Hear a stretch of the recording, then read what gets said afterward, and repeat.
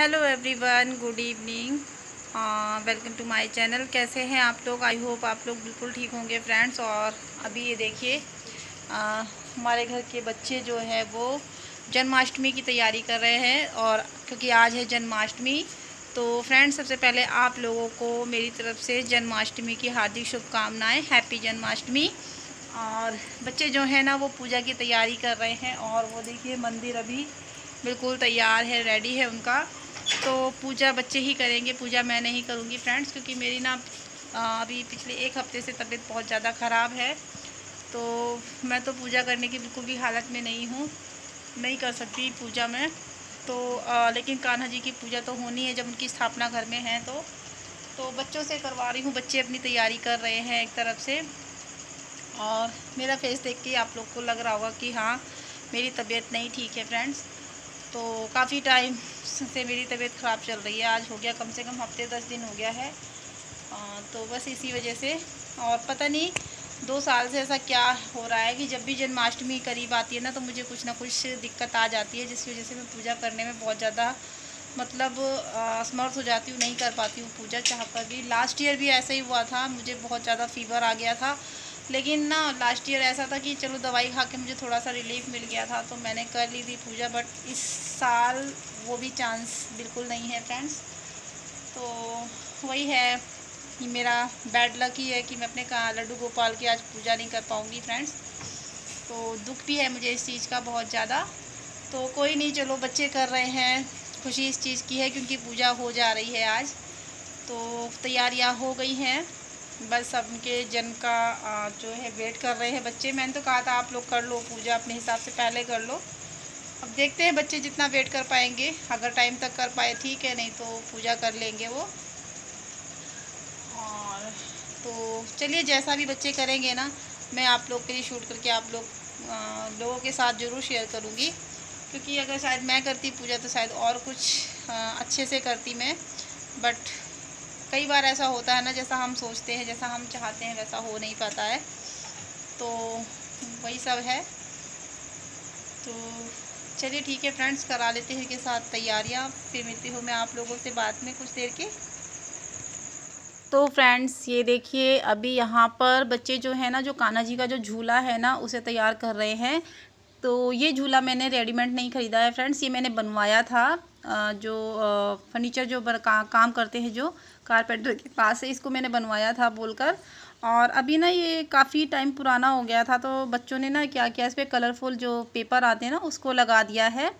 और बैठ के काफ़ी देर से ये लोग यही कर रहे थे, रात में सारा काम फिनिश करने के बाद ये लोग इसमें जुट गए थे करने के लिए, अपने डेकोरेट करने के लिए, झूले के लिए, झूले को। तो देखिए फ्रेंड्स इस तरीके से इन लोगों ने इसे सजाया है।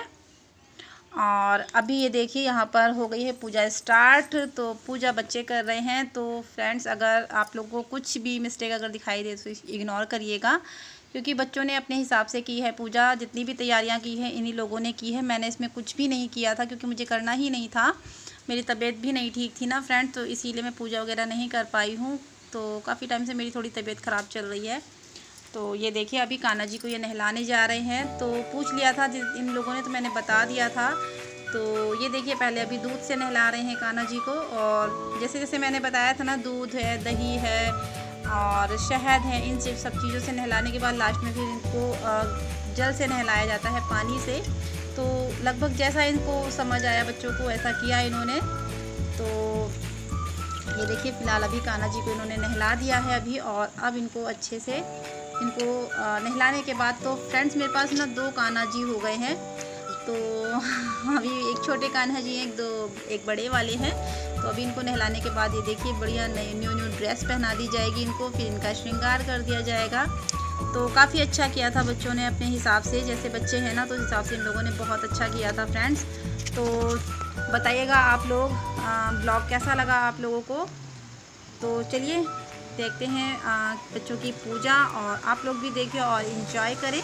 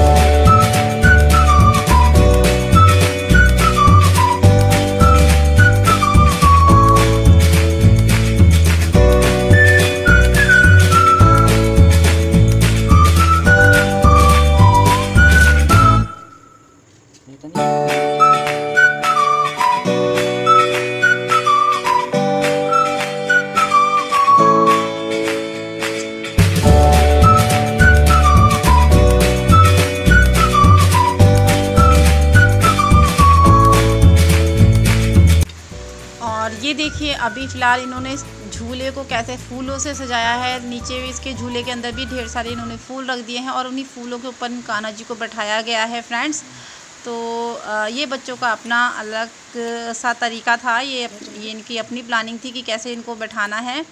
तो फूलों के ऊपर बैठाया है इनको। तो काफ़ी अपने हिसाब से इन लोगों ने काफ़ी अच्छा किया था और काफ़ी इन्जॉय भी किया। ये दोनों भाइयों ने मिलकर। और अभी ये देखिए भोग लगाने की स्किप जो है वो स्किप हो गई क्लिप और अभी हो रही है आरती। तो भोग में भी फ्रेंड्स सिर्फ़ मैंने लड्डू का ही भोग लगवाया था आ, क्योंकि आ, भोग कुछ बना नहीं सकती थी मैं तो आ, बाहर से ही मंगवा लिया था लड्डू वगैरह उसी का भोग लगा दिया था। तो अभी हो रही है आरती। तो आ जाइए आप लोग भी कान्हा जी की आरती में शामिल हो जाएँ।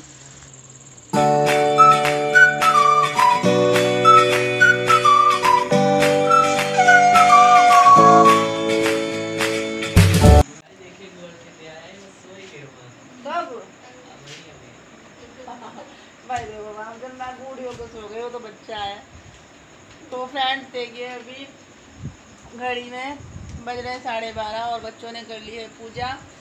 मैं तो एक पल को झपकी लग गई थी, सो गई थी। तो लेकिन बच्चों ने पूरी पूजा कर ली है फ्रेंड्स अभी। और वो देखिए, वो भी बेचारा सो सो के एक बार सो गया था, फिर उठा वो। लेकिन चलिए फाइनली हो गया मेरे कान्हा जी का जन्म। पूजा हो गई है, भोग लग गया है उनका।